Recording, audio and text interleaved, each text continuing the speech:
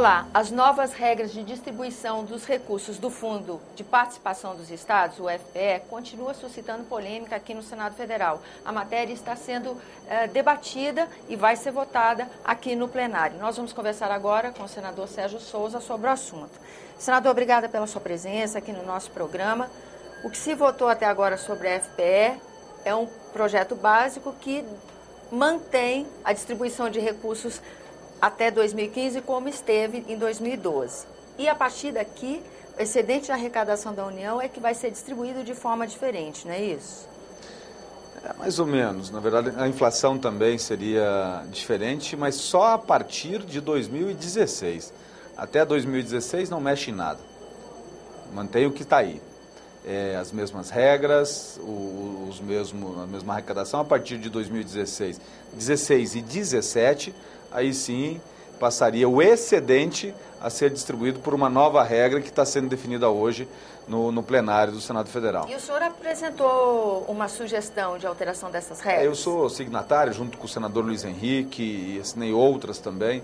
Porque assim, Tânia, nós temos que. Eu acho que o FPE é um instrumento que você utiliza para redistribuir rendas no país, para levar o desenvolvimento para regiões subdesenvolvidas. Perfeito, ou menos desenvolvidas.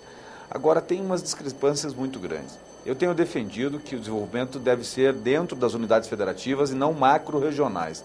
Eu sei que regiões do Nordeste têm locais, cidades, grandes centros, que já são tidos como ricas, do norte também não é diferente, e às, às, vezes no interior daquele estado tem regiões paupérrimas que sofrem as consequências de que não há investimento, porque todo mundo vai para próximo do porto, para próximo do grande centro, que tem melhores condições de instalação das suas empresas.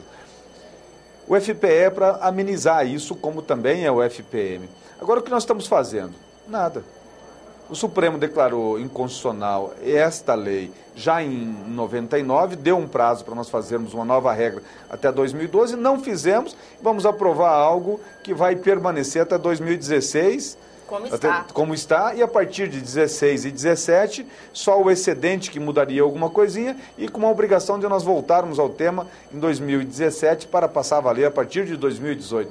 Eu acho isso muito ruim. Esse é um ano bom para discutir o Pacto Federativo. A minha opinião é que nós deveríamos colocar isso tudo em cima da mesa, ICMS, alíquota única, vamos colocar FPE, vamos colocar royalties, vamos colocar ICMS da energia, do petróleo e gás, que é diferente do resto do ICMS, Dívida porque esses são, são cobrados na, no, de, na, na, no destino e, e não, na origem, origem, dívida dos estados, e aí vamos sentar à mesa e vamos fazer, fazer assim.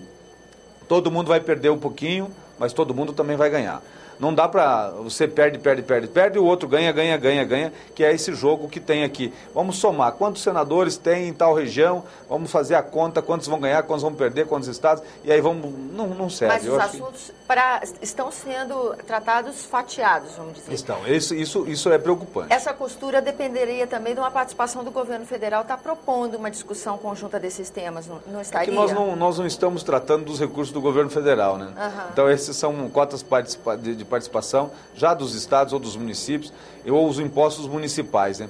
Agora, quando nós formos falar, ah, vamos, vamos discutir o, o, Pacto Federativo e vamos tratar também das contribuições, da repartição, aí sim o governo federal vai entrar. Na verdade, o governo tem feito até um esforço mandou para cá uma medida provisória para criar um fundo compensatório da questão do ICMS, para uma alíquota única de ICMS, que não é único, né? Porque nós temos até uma diferenciação para o Mato Grosso do Sul e para, para o Nordeste e também para Manaus, que manteria 12%, elevaria de 7% para 12%, que vai trazer um desastre aos parques é, industriais de informáticas que tem no Brasil hoje, ah, o investimento que se tem em software. Então, isso nós temos que rever, nós vamos ter tempo para isso. Agora, o FPE é o tema do dia, é o tema do momento, e acredito que nós vamos chegar a um consenso. E qual será o consenso? Vamos deixar, pra de depois. certa forma, para daqui a quatro, cinco anos, para retomarmos esse tema. E vai ser ruim, né? Porque vamos manter uma regra que o Supremo declarou inconstitucional. Isso abre uma possibilidade do STF se manifestar novamente?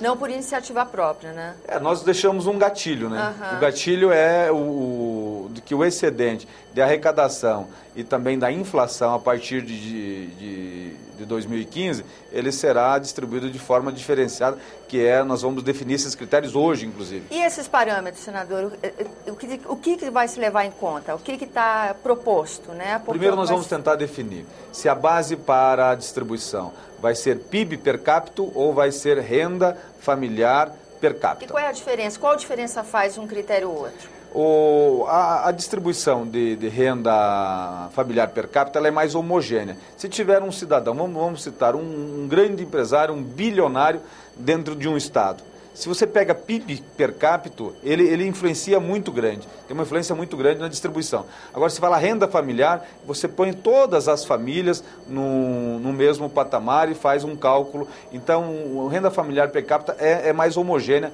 mas é uma distribuição mais justa. E critério de tamanho, área territorial? Que, também, também tem esses isso? critérios, mas aí nós vamos levar em consideração, por exemplo, o peso que vai ter o Estado, de acordo com o IDH, com o Índice de Desenvolvimento, e também populacional e territorialmente. Então são vários critérios, nós vamos lá, vamos fixar para todos um índice de 1, 1,5%, 2%, é isso que nós estamos discutindo agora, e depois nós vamos levar em consideração se o peso da per capita da, da população vai ser 70%, 75%, 80%. É isso, é a discussão que vai gerar grande polêmica, ou que está gerando a grande polêmica. Não é nem o quando é que vai valer, mas uhum. é que, de que forma que vai valer e as regras básicas ainda. E o resultado disso só no voto mesmo, para a gente ver o que acontece, né, senador?